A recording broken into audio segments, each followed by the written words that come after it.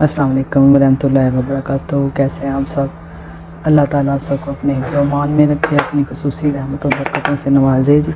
जैसा कि आप देख रहे हैं आपको कीमा नज़र आ रहा है।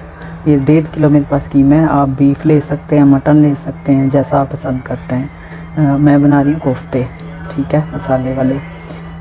थोड़ी सी ग्रेवी भी इसमें होगी साथ अंडे इसमें ऐड करेंगे। तो मटन है मेरे पास डेढ़ किलो है। तो इसमें मैंने तकरीबन बड़े साइज़ के दो प्याज थे। दो गुत्थियाँ जो है, देसी लहसुन की थी, अदरक था और कोई सात आठ कह लें सब्ज़ मिर्चें थी बारीक वाली। क्योंकि उसी से फ्लेवर इसमें आना कोफ्तों में। इसके अलावा स्पाइसेस इसमें जाते हैं, सूखा धनिया है, ज़ीरा है, नमक है, हल्दी है और मिर्च है। तकरीबन इस मटीरियल के हिसाब से दो चम्मच लाल मिर्च जाएगी डेढ़ डेढ़ चम्मच नमक जाएगा, हल्दी जाएगी और ये एक चम्मच भर के ये दूसरी दोनों चीज़ें जाएँगी इसके अलावा इसमें चने जो होते हैं, उसकी जो खीलें सी होती हैं, उसको अच्छी तरह पीस दिया है चॉपर में वो जा रहे हैं, काफ़ी सारे सब्ज़ धनिया और पुदीना। अच्छी तरह मैंने धो के रखा हुआ ये पुदीना और सब्ज़ धनिया। ये काफ़ी सारा इसमें जाना है। फिर इसकी मैं करूँगी मिक्सिंग मिक्सिंग करके मैं अभी ग्लव्स चढ़ाती हूँ।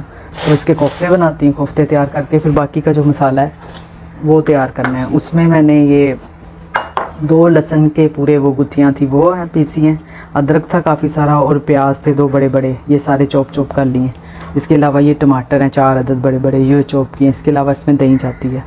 ये दो अदद मैंने इसमें अंडे भी डालने हैं, वो अच्छी सी इसकी बाइंडिंग कर देंगे। इसको फेंटती हूँ, फेंट के फिर इसमें कीमे में डाल देती हूँ। ये मसाला मैं भूनने लगी हूँ। ऑयल सरसों को ऑयल में मैं बना रही हूँ कोफ्तों को। और अंदाजे से ही समझ लें कि तीन से चार डोई आप इसमें ऑयल डालेंगे, इसमें इतना जाना है, इससे कम नहीं जाएगा। तेल कड़कड़ा लिया है मैंने। थोड़ी सी आँच हल्की करनी है। इसकी जो स्मेल सी होती है ना, वो ख़त्म हो जाती है। देखिए ना कलर चेंज हो गया गोल्डन सा कर लिया इसको।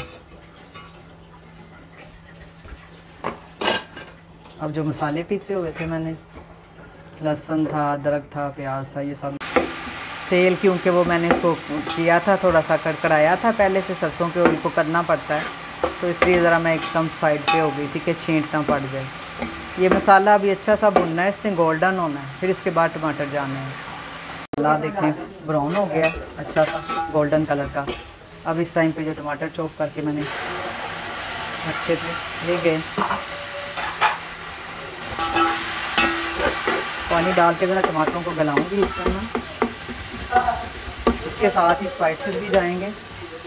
नमक है, हल्दी है खुश्क धनिया है ये पंचा धनिया सॉरी ये देखें, दो चम्मच लाल मिर्च है, डेढ़ चम्मच नमक है, एक चम्मच भर के कुटी कुटा हुआ सूखा धनिया है और हल्दी है। काली मिर्च भी ऐड कर सकते हैं। मैंने लास्ट में इसमें गरम मसाला डालना है, इसलिए मैंने अभी फ़िलहाल कुछ भी नहीं डाला, सिर्फ़ ये सादे मसाले ऐड किए।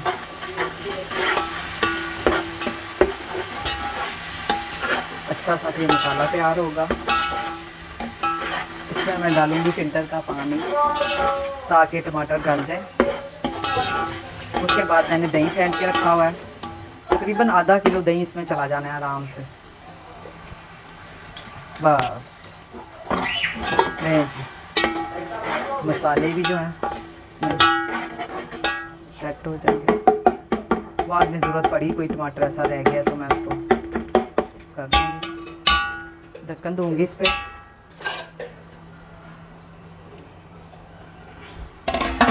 बस, आग हल्की कर दी है मैंने। हल्की आँच पे टमाटर डाल रहे हैं। उसके अलावा मैंने जो है, दही को फेंट के रखा हुआ ये देखें मेरे पास तकरीबन कोई पौना किलो के करीब दही है। इसको अच्छा सा फेंट लिया कोफ्ते हमारे बन चुके हैं। ये, माशाल्लाह से बड़ा बड़ा बिकी बिक कोफ्ता बनाया है। ये सारे तैयार हो चुके हैं। काफ़ी कोफ्ते बन गए माशाल्लाह। इसलिए इसकी फिर ग्रेवी और मसाले भी ज़्यादा ही बनाने मसाला देखें कितना अच्छा बन गया, माशाल्लाह से। कितना दानेदार सा जो है ना, हमारा ये मसाला तैयार हुआ है। ये। अब दही का टाइम है। दही मेरे पास ज़्यादा था। ये। ये मिक्स करना है अच्छी तरह काफ़ी है दही, बस इतना ही। समझें कि इसमें आधा किलो दही जाएगा। फिर ग्रेवी इसकी तैयार होनी है। टमाटर भी काफ़ी गए हैं हमारे। अब अभी दही डाल के फिर इसको भूनना है। फिर ही अपना जब तेल छोड़ेगा, फिर इसमें कोफ्ते रख देने हैं हमने। ये देखें, मसाला अच्छा सा भुन गया, इसमें ऑयल भी छोड़ दिया। अब आराम से जितने ये कोफ्ते बनाए हैं, मैं सॉरी वो मसाला गले को पड़ गया। आराम आराम से इसमें सारे रखते हैं। ये मैं इसी तरह से आराम से सारे रख के तो फिर आपको दिखाती हूँ।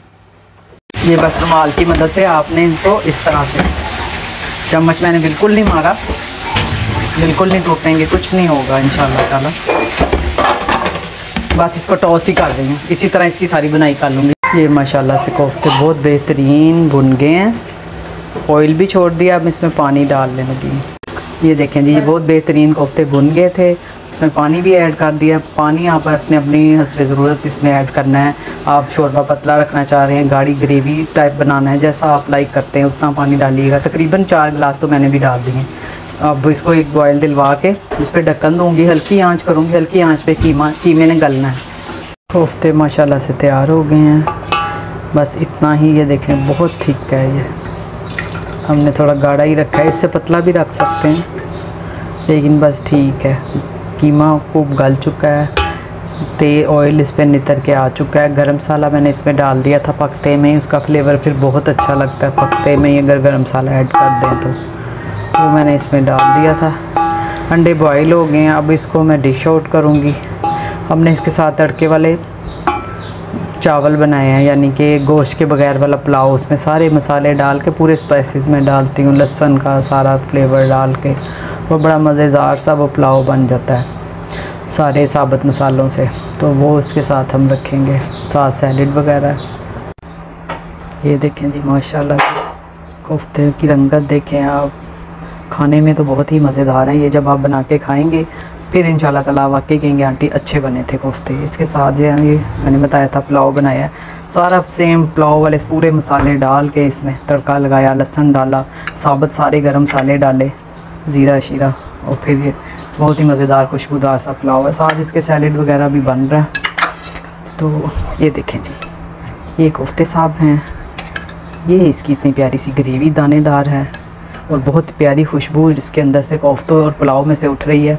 तो हम तो खाने लगे हैं और आपने बना के खाना है इसको, ठीक है? और फिर मुझे बताना है आपको कैसे लगे।